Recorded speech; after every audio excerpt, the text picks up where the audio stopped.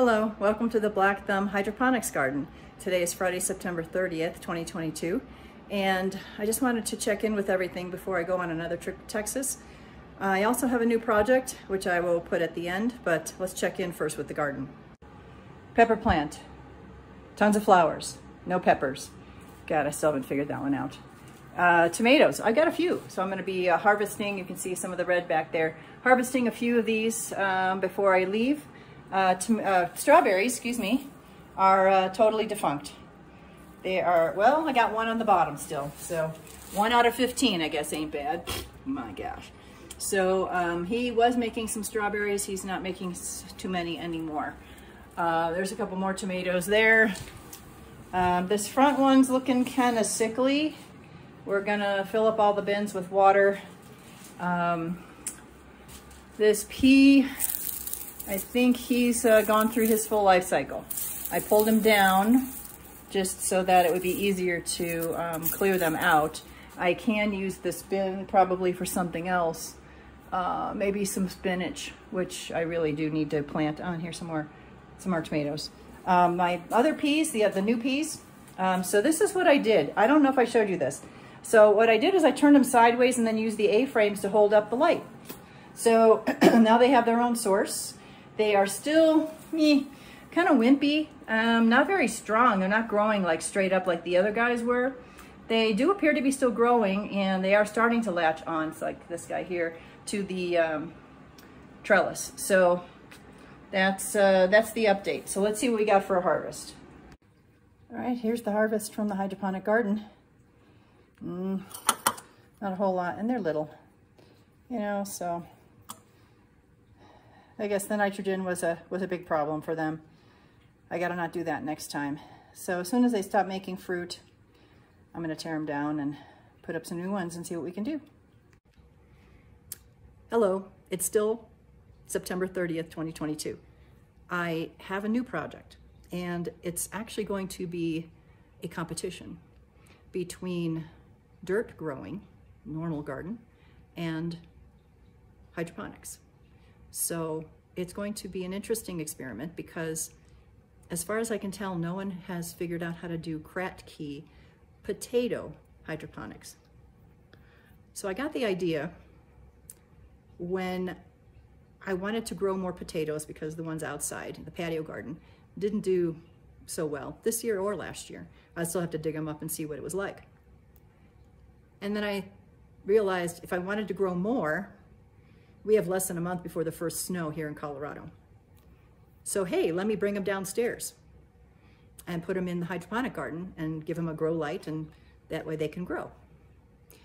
And that gave me the idea. Well, what about hydroponic potatoes using the Kratky method? So I've been investigating this. No one's done it before as far as I can tell on YouTube or anything.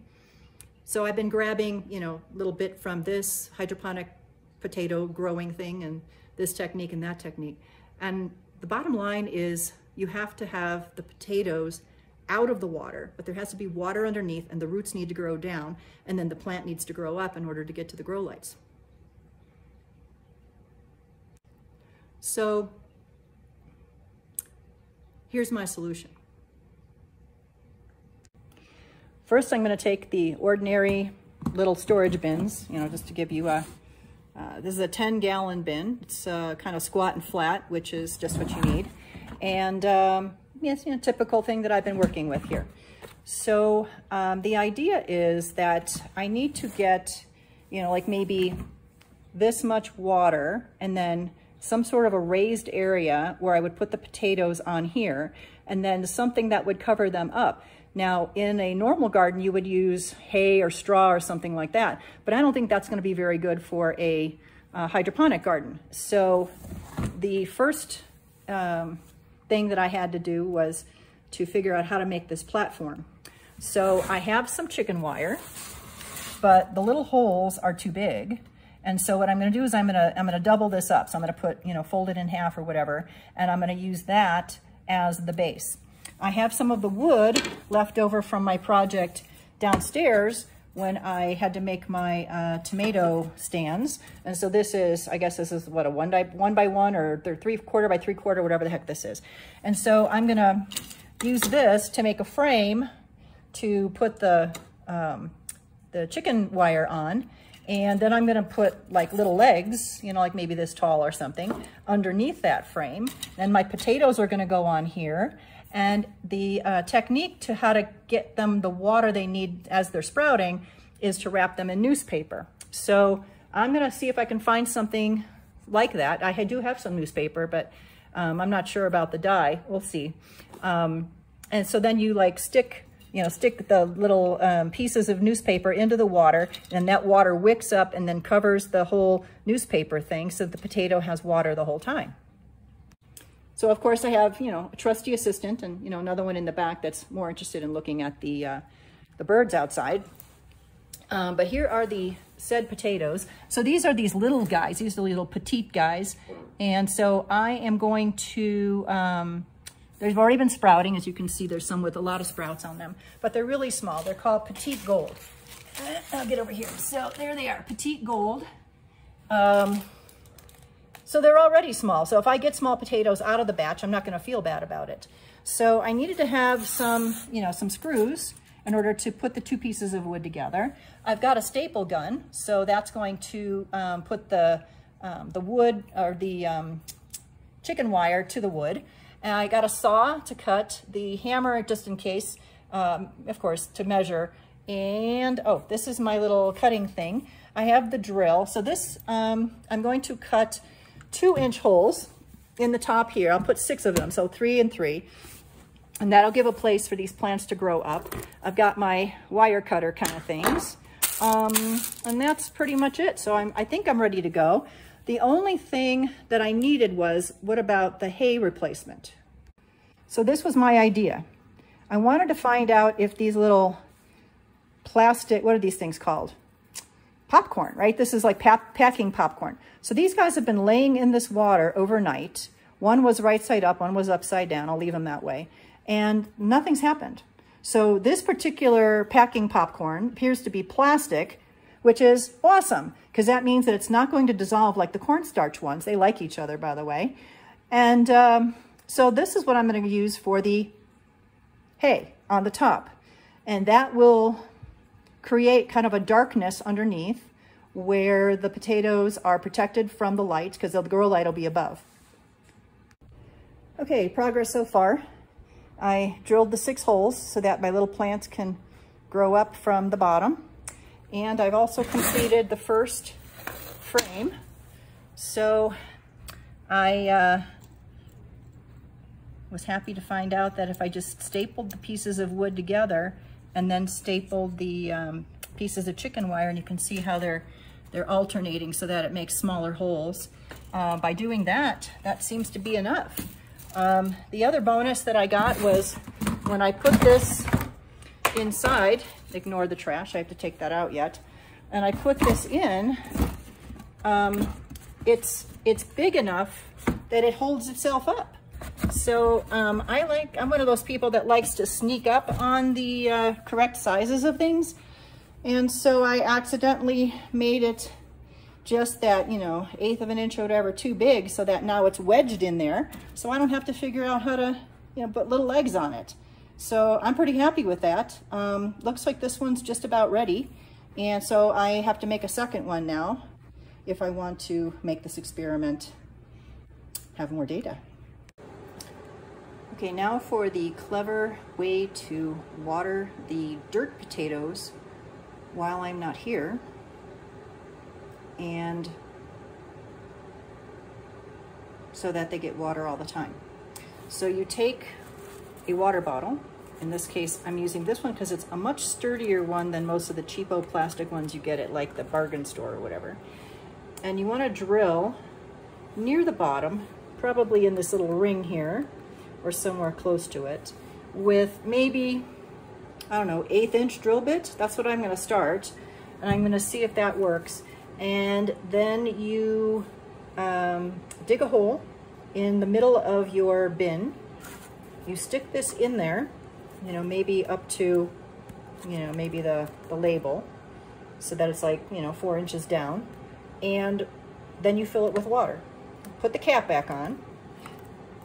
And then it should draw the water through the little holes and keep that dirt moist.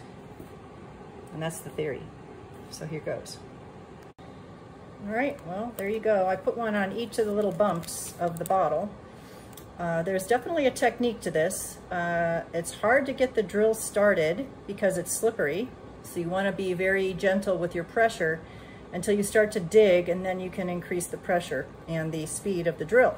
So I've got five holes all the way around uh, on two bottles. And so now I'm gonna bury them and then fill them with water.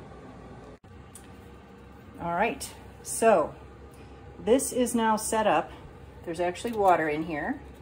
Um, I've got it just to the bottom of the first layer of the chicken wire. I also lined up the potato with the hole. I already checked in in advance.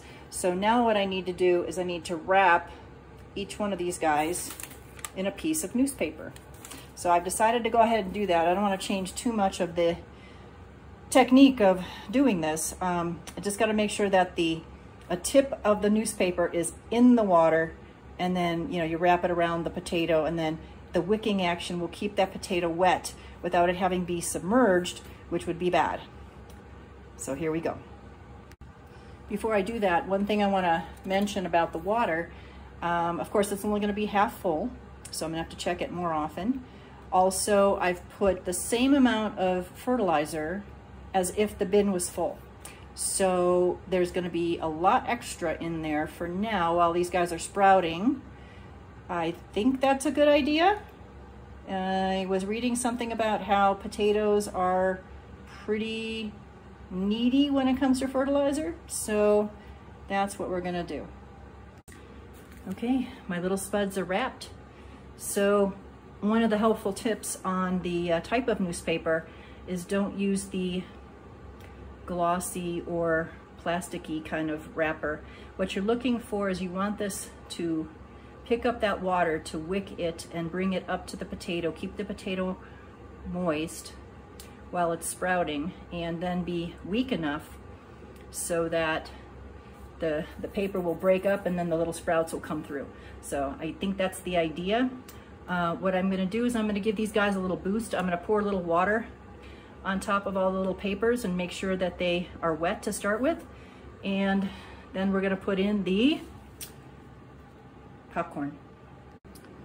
Okay, there they are, full to the brim. Here's a problem I didn't think about. How do I know when it needs water? And how do I know when it's full to where it needs to be? That I don't know. Uh, I guess we're gonna have to just deal with that as it happens because I don't have any way of figuring that out. So take a few of these extra ones out and make sure the cap is on good. And that's it. So, and then the light is already up here. The A-frames are already in place. I'll put a timer on them and they'll get their light just like all the other guys do. And that'll be it.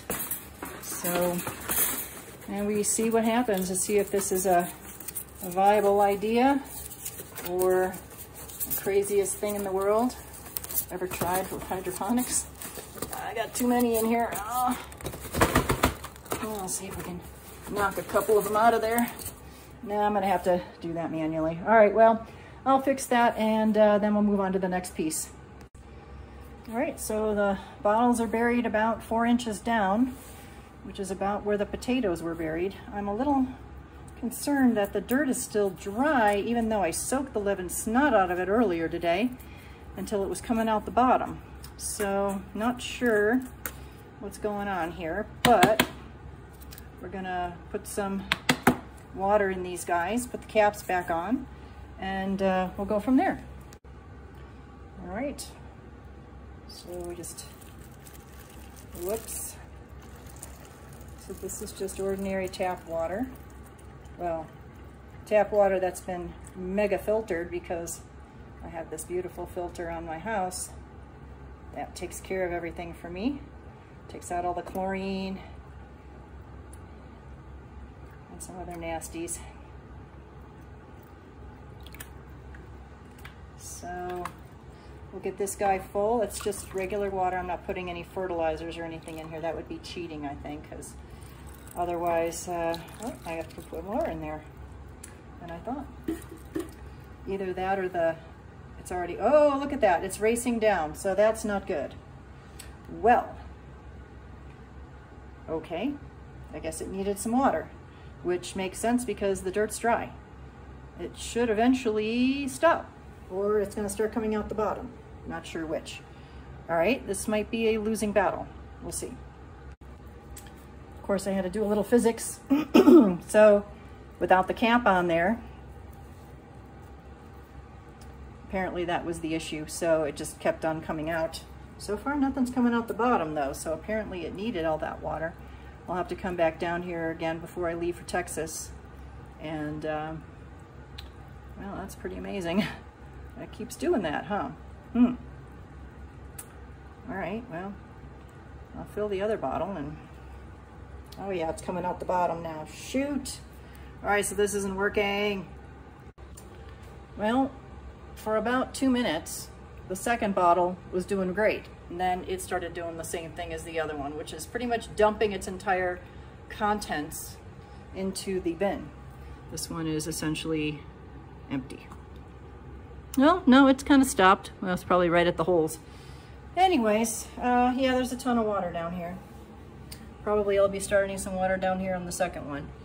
Uh, I'll have to think about this tonight and see what we can come up with. I might just have to have my cat sitter come down here and water them if this method is going to keep doing this. Um, yeah, that's not good. All right. Now we get to see who wins hydroponic potato or dirt potato with the faulty watering system. Not quite sure why it did that, but I guess we'll figure it out eventually. Okay, it's the next day. What is the next day? 1st of October. Oh my gosh, it's already October. And I'm gonna try putting more water back in there. What's interesting is the water that was in here was a lot higher than it is now. So it is wicked back in. And there was some water in here that it has now wicked back in. So I'm gonna try. I'm gonna see if I can get this to take any water. So stand by. Well, the first one is sending a lot of water out into the potatoes. So I would assume I'm gonna start seeing some water down here, which is not good because I don't even know if that it can hold that much. Uh, but, so it's not working. So I took it out because I don't need it to be doing that.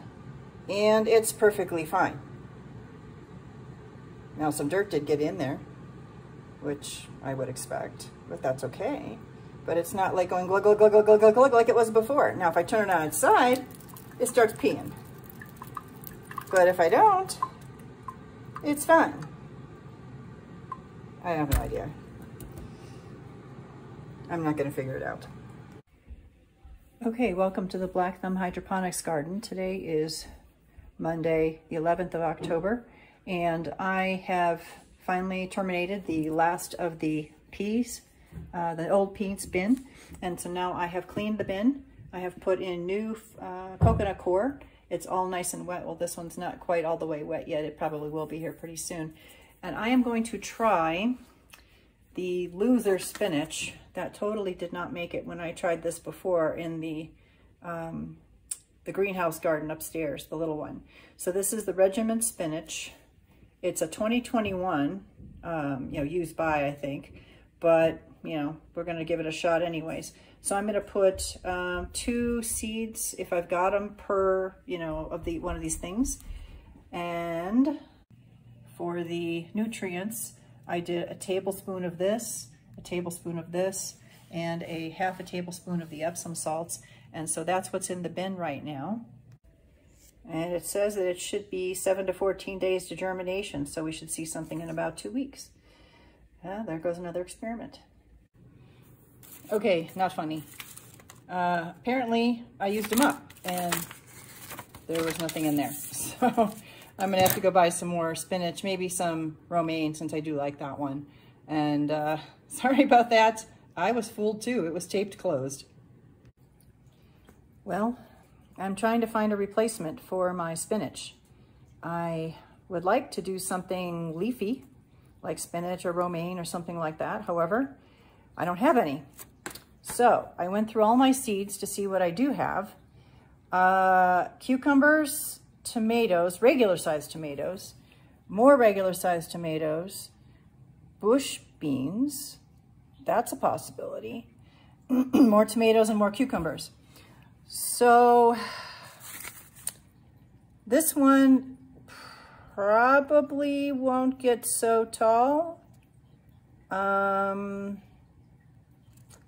thinking. Everything else is too big or it's a root vegetable. All my carrots, beets, stuff like that, I can't. Hello, welcome to the Black Thumb Hydroponics Garden. Me and my frog are here today again.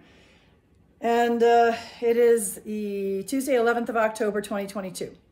So still these peppers are not making peppers. So we're gonna get serious.